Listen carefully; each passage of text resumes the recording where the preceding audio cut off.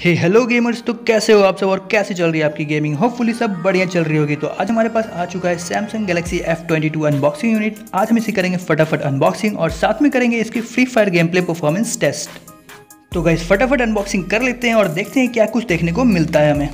तो अनबॉक्सिंग करते हैं। सबसे पहले जो अपने को देखने को मिलता है वो है सिमजेक्टर टूल कुछ गाइडलाइंस पेपर्स और साथ में अपना ये प्यारा सा फ़ोन। तो अपने पास जो वेरिएंट है गाइज़ वो है four plus sixty four G B variant और इसी पे हम करेंगे free fire game play performance और साथ में अपने को मिलता है ये अडेप्टर 15 वाट का।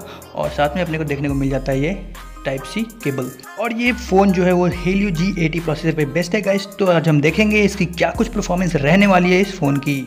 तो अपनी अनबॉक्सिंग हो चुकी है गाइज़ अब हम सीधे चलते हैं फ्री फायर गेम प्ले की तरफ़। तो guys free fire game start करने से पहले हम कुछ सेटिंग्स और सेंसिटिविटी देख लेंगे, क्योंकि बहुत सारे बंदे कमेंट करके पूछते हैं गाइज़ की सेटिंग्स में सेंसिटिविटी क्या है फायर बटन की साइज़ क्या है।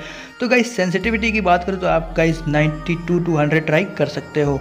और अगर मैं अपनी कस्टम एच की बात करूँ तो मैं अगर फायर बटन की बात करूँ तो गाइज़ फायर बटन की साइज़ में हमेशा forty seven to fifty two के बीच में ही रखता हूँ। और अगर इसकी डिस्प्ले सेटिंग्स की बात करूँ तो गाइज़ इसमें आराम से आप अल्ट्रा पे high resolution high FPS on और शेडो ऑन करके भी गेम प्ले स्मूथ कर सकते हो। तो गाइज़ ये हो गई अपनी सेटिंग्स की बात। अब हम करते हैं इस फ़ोन में गेम प्ले की बात। तो गाइज़ गेम प्ले के मामले में मैं पाँच से छः घंटे गेमिंग करी है इस फ़ोन में और अभी तक मेरे को ज़्यादा दिक्कत नहीं दिखी है। तो सबसे पहले अगर मैं बात करूँ इसकी डिस्प्ले की गाइज़ तो ये डिस्प्ले जो इस फ़ोन में वो एक प्लस पॉइंट है इस फ़ोन की। क्योंकि इसकी जो डिस्प्ले है गाइज़ वो 90 हर्ज है विथ सुपर एमोलेड डिस्प्ले तो गाइज़ इसमें जो मेरे को टच रिस्पॉन्स लगा, वो बहुत ही अच्छी लगी मेरे को। और साथ में अगर मैं बोलूँ इसकी सेंसिटिविटी डिस्प्ले की तो वो भी बहुत ही ज़्यादा है। और एक बात, अगर इसकी ब्राइटनेस की मैं बात करूँ तो गाइज़ इसकी 50 परसेंट ब्राइटनेस ऑन करती, कुछ ज़्यादा ही ब्राइट लगने लगता है। तो मतलब ये भी एक प्लस पॉइंट है गाइज़ क्योंकि एमोलेड डिस्प्ले है तो इसकी वजह से आपको बहुत ही ज़्यादा ब्राइटनेस देखने को मिल जाती है। और अगर गाइज़ मैं इसकी एफपीएस की बात करूँ तो गाइज़ इसमें एफपीएस जो है वो 36 टू 40 देखने को मिली मेरे को। मैंने पाँच से छः घंटे गेमिंग करी और इसने 40 एफ़ मेंटेन कर रखा है।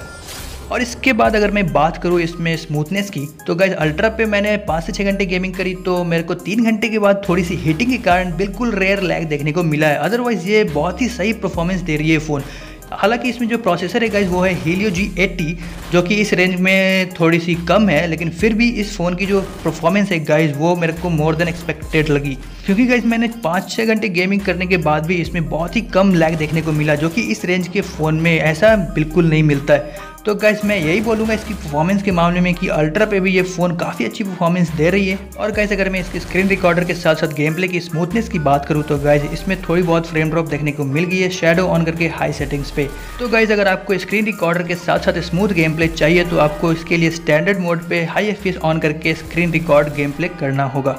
ऐसा करके आप बिल्कुल ही कम लैग में आराम से गेम प्ले रिकॉर्ड भी कर पाओगे और स्मूथली खेल भी पाओगे।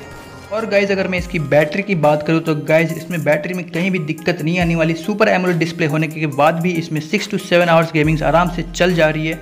और गाइज़ अगर मैं इस फ़ोन की प्लस पॉइंट और माइनस पॉइंट की बात करूँ तो गाइज़ प्लस पॉइंट में इसकी डिस्प्ले आती है। डिस्प्ले क्योंकि 90 हर्ज रिफ्रेश रेट के साथ सुपर एमोलेड डिस्प्ले इस फ़ोन में अवेलेबल है, जो कि शायद ही कोई फ़ोन प्रोवाइड करती है इस रेंज में सुपर एमोलेड डिस्प्ले के साथ 90 हर्ज रिफ्रेश रेट और साथ में इसकी जो दूसरी प्लस पॉइंट है, वो है गाइज़ इसकी बैटरी तो गाइज़ बैटरी बहुत ही सही है, इसकी सिक्स आवर्स आराम से गेमिंग हो जाती है बिना किसी प्रॉब्लम के।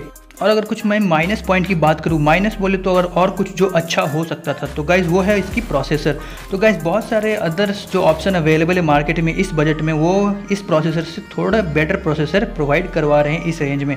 तो गाइज़ जो प्रोसेसर है, वो कुछ बेटर हो सकता था, लेकिन फिर भी मैं बोलूँगा गाइज़ इस प्रोसेसर पर भी ये फ़ोन की जो परफॉर्मेंस है, वो बाकियों से मेरे को बहुत ही बेटर लगी। ऐसा उम्मीद नहीं करा था मैंने, फिर भी इसकी जो परफॉर्मेंस है मेरे को बहुत ही पसंद आई इस बजट में। तो गाइज़ अगर ओवरऑल मैं बात करूँ कि गेमर्स के लिए फ़ोन कैसे रहने वाला है तो गाइज़ मैं बात करता हूँ गेम प्ले की तो गेम प्ले के लिए गाइज़ ये फ़ोन बहुत ही सही होने वाला है इस बजट में। और बात करूँ अगर मैं स्क्रीन रिकॉर्डर के साथ साथ गेम प्ले की तो अल्ट्रा पे गाइज़ थोड़ी बहुत लैग देखने को मिल जाती है इस फ़ोन में। तो सिर्फ़ गेम प्ले के लिए तो बेस्ट है गाइज़ और अगर आप रिकॉर्डिंग के साथ साथ स्मूथ गेम प्ले करना चाहते हो तो वो आपको स्टैंडर्ड मोड पे हाई एफपीएस ऑन करके करना होगा। तो गाइज़ अगर आप सैमसंग के फ़ैन हो तो गाइज़ ये फ़ोन आपके लिए है। सो गाइज़ आई होप आपको ये रिव्यू वीडियो अच्छी लगी होगी, और अच्छी लगी हो, काम की लगी हो तो गाइज़ एक लाइक ज़रूर कर देना। और साथ में अगर आप इस चैनल पे नए हो तो गाइज़ सब्सक्राइब भी ज़रूर कर देना। तब तक के लिए गुड बाय गाइज़ मिलते हैं नेक्स्ट अनबॉक्सिंग वीडियो में।